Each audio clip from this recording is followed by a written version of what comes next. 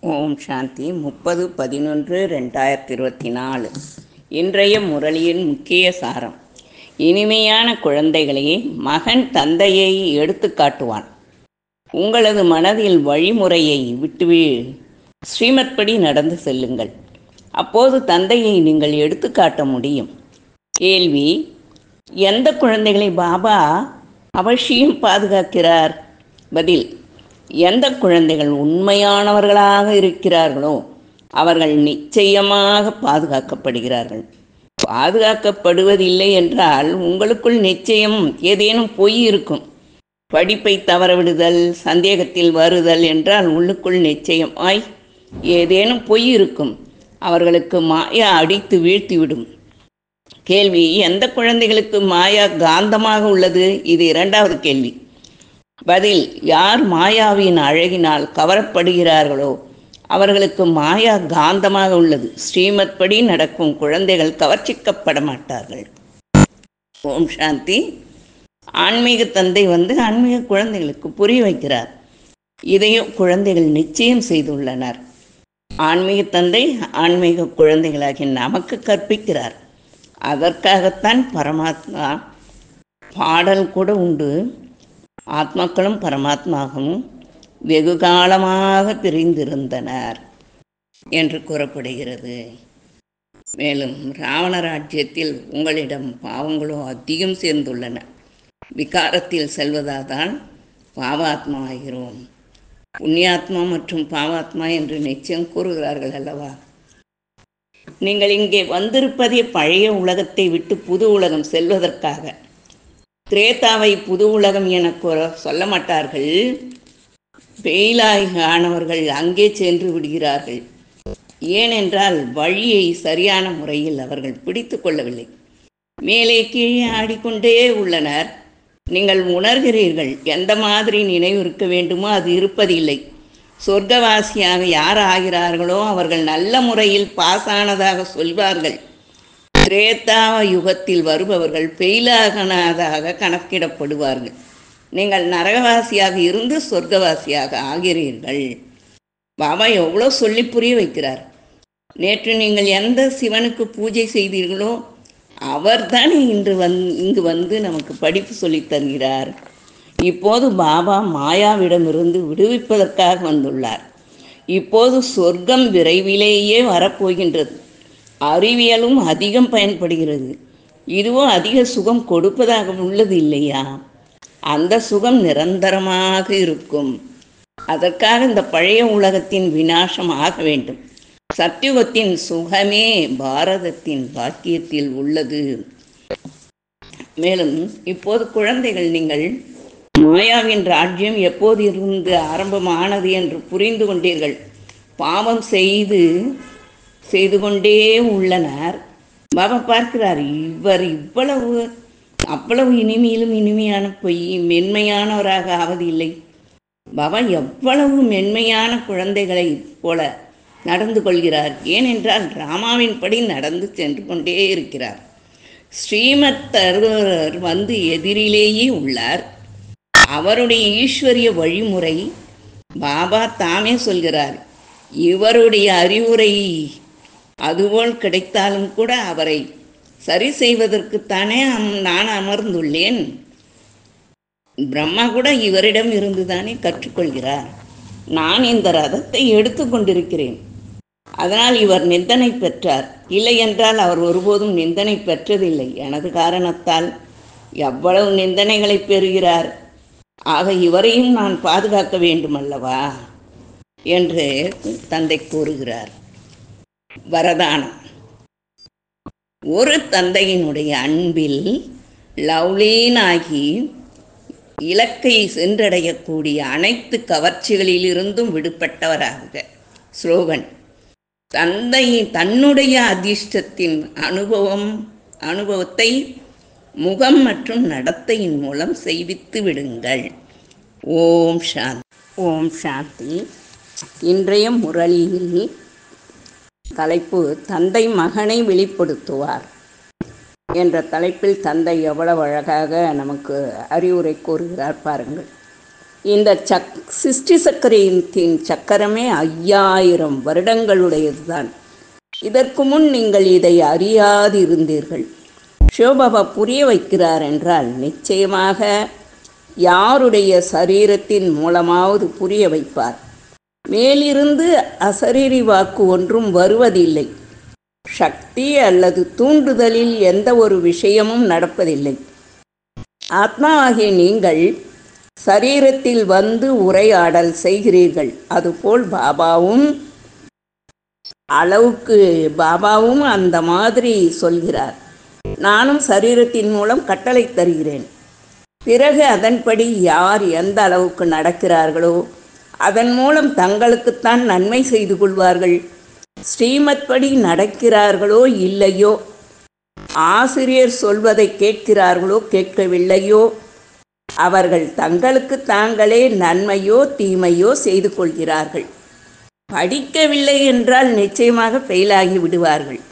இதையும் புரிய வைத்து கொண்டே இருக்கிறார். சிவபாபாவிடம் கற்றுக்கொண்டு பிறகு மற்றவர்களுக்கும் கற்றுத்தர வேண்டும். தந்தை மகனை வெளிப்படுத்துவார். உலகிய தந்தையின் விஷயம் கிடையாது. இவர் ஆன்மீக தந்தை. இதையும் நீங்கள் புரிந்து கொண்டிருக்கிறீர்கள். எந்த அளவுக்கு நாம் ஸ்ரீமத் படி நடக்கிறோமோ அந்த அளவுக்கு நாம் ஆஸ்தியை அடைவோம். முழுமையாக நடப்பவர்கள் உயர்ந்த பதவி பெறுவார்கள். அவ்வாறு நடக்காதவர்கள் உயர்ந்த பதவி பெற மாட்டார்கள். பாபாவோ சொல்கிறார் என்னை நினைவு செய்வீர்களானால் உங்கள் பாவங்கள் நீங்கிவிடும். ஓம் சாந்தி. ஓம் சாந்தி. இன்றைய முரளியில் பாபா மிக அழகாக யாரெல்லாம் புண்ணியாத்மா ஆகிறார்கள் யாரெல்லாம் பாவாத்மா ஆகிறார்கள் என்று எவ்வளவு அழகாக சொல்கிறார் பாருங்கள். பாபா கூறுகிறார் ராவண ராஜ்யத்தில் உங்களிடம் பாவங்களோ அதிகம் சேர்ந்துள்ளன. விகாரத்தில் செல்வதால் தான் பாவாத்மா ஆகின்றனர். புண்ணியாத்மா மற்றும் பாவாத்மா என்று நிச்சயமாக உள்ளனர். புண்ணிய ஆத்மாவுக்கு முன் பாவ ஆத்மாக்கள் போய் தலை வணங்குகின்றனர். மனிதர்களுக்கு இது தெரியாது. அதாவது புண்ணிய ஆத்மாக்களாகிய தேவதைகள் தாம் பிறகு புனர்ஜென்மத்தில் வந்து வந்து பாவாத்மா ஆகிறார்கள் சத்தியுகம் திரேதாயுகத்தில் புண்ணிய ஆத்மாக்கள் தானே இருந்தார்கள் தேவதைகளாக. முப்பத்தி முக்கோடி தேவ ஆத்மாக்களாக வருகிறார்கள் மனிதர்களே தான். ஏனென்றால் அவர்களிடம் தெய்வீக குணங்களும் தாமரை மலர் போன்ற தூய்மையான வாழ்க்கையும் விகாரங்களே இல்லாத என்னவென்றே தெரியாது. அப்படி இருந்தார்கள் யோக பலத்தினால்தான் குழந்தை பிறப்பு கூட அங்கு நடைபெறும். ஆகவே அவர்களை புண்ணிய ஆத்மாக்கள் தேவ ஆத்மாக்கள் என்று அழைக்கின்றோம். அவர்களே தான் பிறகு துவாபரயுகம் கலியுகத்தில் வரும் பொழுது விகாரத்தில் செல்வதால் தூய்மை இழந்து விடுகிறார்கள். அசுர குணங்கள் வந்து விடுகிறது. கர்மம் கூட கெட்டதாக ஆகிவிடுகிறது. அதனால் அவர்கள் பாவ ஆத்மா ஆகிறார்கள். இந்த ரகசியங்களை எல்லாம் பாபா புரிய வைக்கிறார். புனர்ஜென்மம் எடுத்து எடுத்தே சத்தோ பிரதானத்திலிருந்து தமோ பிரதானம் வரை வருகிறீர்கள். வருகின்றார்கள். எப்போது முற்றிலும் பாவாத்மா ஆகி விடுகின்றனரோ? பிறகு பாபாவை அழைக்கின்றனர். எப்போது புண்ணியாத்மாக உள்ளனரோ? அப்போது நினைவு செய்வதற்கான அவசியம் இருப்பதில்லை. ஆக இதை குழந்தைகளாகிய நீங்கள் புரிய வைக்க வேண்டும். சேவை செய்ய வேண்டும். பாபாவே அனைவருக்கும் போய் சொல்ல மாட்டார். குழந்தைகள் சேவை செய்வதற்கான தகுதி உள்ளவர்கள் என்றால் குழந்தைகள் தான் செல்ல வேண்டும். மனிதர்களோ நாளுக்கு நாள் அசுரர்களாக ஆகிக்கொண்டே இருக்கின்றனர். அறிமுகம் இல்லாத காரணத்தால் வீண் வார்த்தை சொல்வதற்கும் தயங்குவதில்லை. ஓம் சாந்தி.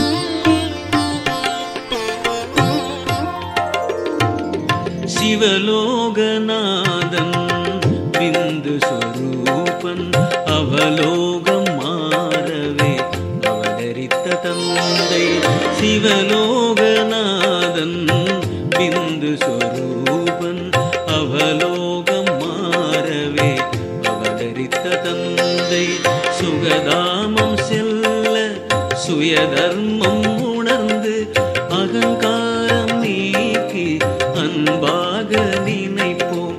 சுகதாமம் செல்ல சுயதர்மம்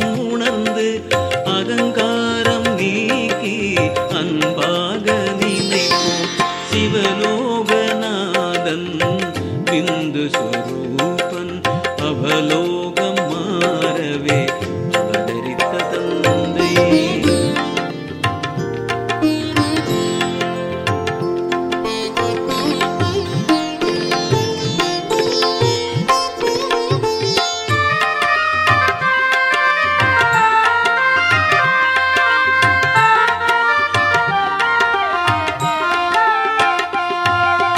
நிலையான இன்பம் நிறைவாக பெறவே அதிகாலை எழுந்து அன்பாக நினைப்போம் நிலையான இன்பம் நிறைவாக பெறவே அதிகாலை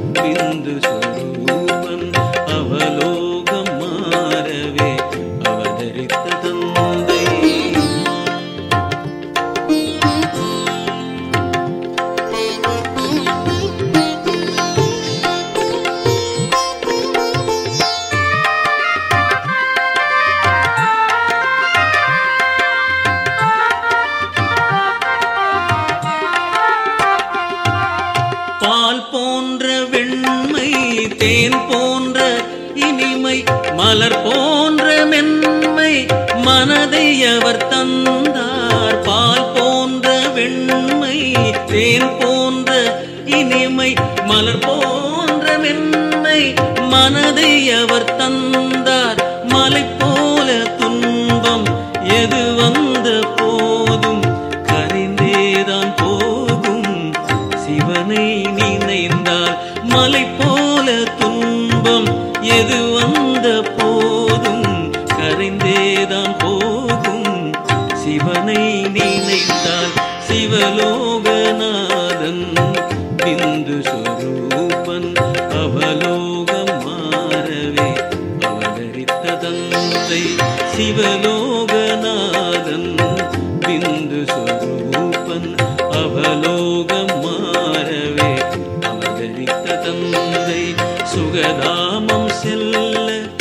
യധർമ്മം